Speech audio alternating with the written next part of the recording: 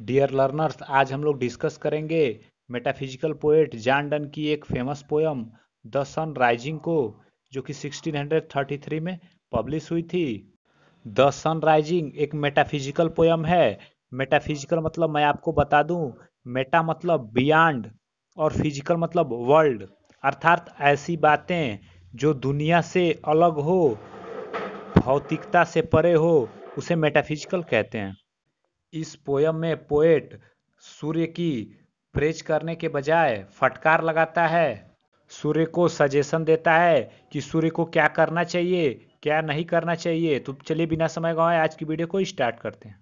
Busy व्यस्त old full बूढ़े, मूर्ख अनरूली सन अनियंत्रित सन अर्थात जिसपे कंट्रोल ना हो। वाई डज दाउ दस तुम ऐसा क्यों करते हो?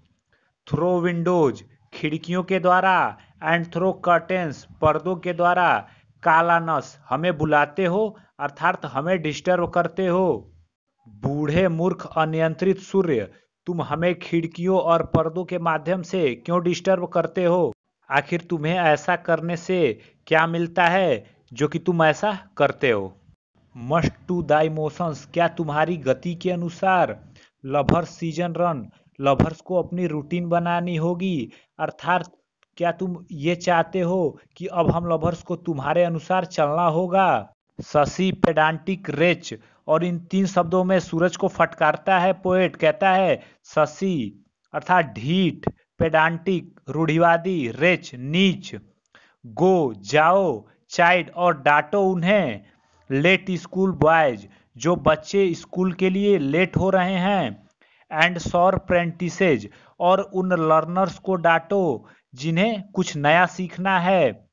सौर प्रेंटिसेज माने जिन्हें अप्रेंटिस पर जाना है, अर्थात कुछ नया सीखने जाना है। गो जाओ टेल कोर्ट्स हर्ट्समैन और दरबारियों को बताओ that the king will ride कि राजा आज शिकार पर जाएँगे। काल, बताओ कंट्री एंड किसानों को टू हार्वेस्ट ऑफिसेज कि उन्हें फ़सल काटना है।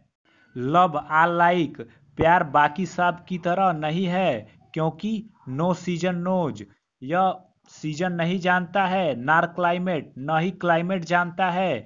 नार हावर्स डेज़ मंथ न ही घंटा जानता है, न दिन, न महीना। Which are the rags of time ये सभी के टाइम के टुकड़े हैं, और प्रेम इन टुकड़ों का मोहताज नहीं होता, इनके अधीन नहीं होता। कभी लास्ट लाइन में बताना चाहता है कि प्यार सबसे अलग होता है, स्कूल जाने का वक्त होता है, फ़सल काटने का भी एक वक्त होता है, सही समय होता है, लेकिन प्यार का कोई समय ही समय नहीं होता है, क्योंकि यह शेड्यूल्ड नहीं होता। दाई बिम्स, तुम्हारी किरणे, सो रेवरंड, इतनी महान एंड स्ट्रांग और स्ट्रांग हैं। वाई सुडस्ट दाउ थिंक तुम्हें ऐसा क्यों लगता है? अर्थात तुम्हें ऐसा क्यों लगता है कि तुम्हारी किरणें इतनी महान और स्ट्रांग हैं? आई कुड इक्लिप्स मैं तुम्हें प्रभावहीन कर सकता हूँ एंड क्लाउडेड देम और कमज़ोर कर सकता हूँ। विथ हेविंग पलक झपका के। अर्थात मैं अपनी आँखें बंद कर लूँगा, जिससे तुम्हारा मेरे ऊपर कोई असर नहीं पड़ेगा।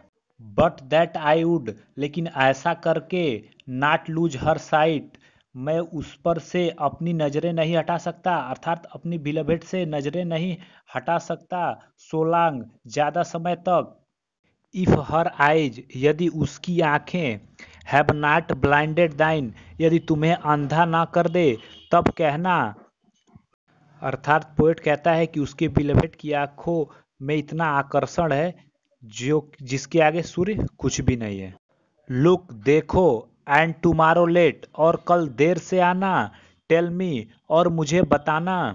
वेदर बाथ इंडियंस अर्थात दोनों इंडीज के ईस्ट और वेस्ट स्पाइस एंड माइन मसाले और माइन भी वही हैं। वेयर दाउ लेफ़्ट देम जहाँ तुमने उन्हें छोड़ा था।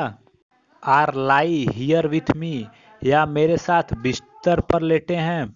अर्थात देखो, कल लेट से आना और मुझे बताना कि जहाँ तुमने दोनों इंडीज, वेस्ट और वेस्ट, के स्पाइस और माइन को छोड़ा था, वे वहीं पर हैं या मेरे साथ बिस्तर पर लेटे हैं? आस्क फॉर दोज किंग्स, उन राजाओं से पूछना। हुम दाऊ सा एस्टरडे, जिसको तुमने कल देखा था, एंड दाऊ साल्ट हियर, या जिनके बारे में तुमने सुना है तो तुम्हें पता चलेगा all here in one bed lay. पूरे संसार का यश और सब कुछ मेरी प्रेमिका के रूप में बेड पर लेटा हुआ है। इस लाइन के माध्यम से पोएट बताना चाहता है कि संसार का सारा सौंदर्य प्रेमिका में समाहित और केंद्रित है। इस स्टेंजा में पोएट कहता है, सी, अर्थात मेरी प्रेमिका आल स्टेट्स सभी स्टेट है। एंड आल प्रिंसेज आई और सभी राज्यों का राजकुमार मैं हूँ। अर्थात उस पर सिर्फ़ मेरा हक है। नथिंग एल्स इज़ इसके अलावा कुछ नहीं। प्रिंसेस डू राजकुमार कार्य करते हैं बट प्लेयर्स लेकिन वो भी कापी करते हैं हम लोग के प्यार करने के तरीकों को। कंपेयर टू दिस यदि प्रेमिका से तुलना करें आल आनर्स मिमिक तो सभी सम्मान। दिखावटी हैं उसके आगे। आल वेल्थ, सभी धन, एलकमी, झूठे हैं। अर्थात पोएट ये कहना चाहता है कि पोएट के बिलभेट के सामने धन और प्रसिद्धि कुछ भी नहीं है नथिंग है। Thou sun art half, as happy सूर्य तुम आधे ही खुश हो, एज वी, जितना हम खुश हैं, उसकी तुलना में तुम आधे ही खुश हो। क्यों? क्योंकि we in that the world contracted thus क्योंकि सारा संसार हमारे में समा गया है। अर्थात पोएट सूर्य से कहता है कि जितना लवर्स खुश हैं, उससे तुम्हारी खुशी आधी ही है। क्यों आधी है? क्योंकि पूरा संसार लवर में समा गया है। दाइन एज आस्क इज़ तुम्हारी उम्र हो गई है आराम करने की। एंड सिंस दाई ड्यूटी भी लेकिन तुम्हारी ड्यूटी भी यह है कि टू वार्म द वर्ल्ड संसार को गर्म करना, गर्म रखना that's done in warming us जो कि तुम, हम लोग को गर्म करके अपनी ड्यूटी पूरा करते हो। पोएट सन से कहता है कि साइन हियर टू अस तुम यहाँ चमको, हम लोगों के पास। और जिसका मतलब होगा एंड दाउ आर्ट एवरीवेयर कि तुम सब जगह हो। ऐसा क्यों कहता है? क्योंकि पोएट कहता है कि जो संसार का सारा केंद्र है, वो हम लोगों में ही समाहित है। पूरा संसार हम लोगों के बेड तक ही समाहित है। अर्थात हम लोगों के बिना संसार का उत्थान पॉसिबल नहीं है, उन्नति संभव नहीं है। This bed thy centre is यह बेड तुम्हारा सेंटर है, केंद्र है। दिज वाल्स दाई स्पीयर और ये दीवारें तुम्हारी कक्षा हैं। अर्थात पोएट कहना चाहता है कि यदि तुम हम लोगों के ही चारों तरफ़ चक्कर लगाओगे तो तुम्हें पूरे संसार के चक्कर लगाने की कोई ज़रूरत नहीं है, क्योंकि पूरा संसार हम में ही समाया हुआ है। तो मैं आशा करता हूँ आप लोग को यह वीडियो अच्छी लगी। वीडियो अच्छी लगी तो वीडियो को लाइक करें और चैनल पर बिल्कुल नया चैनल को सब्सक्राइब करना ना भूलें। तो धन्यवाद दोस्तों।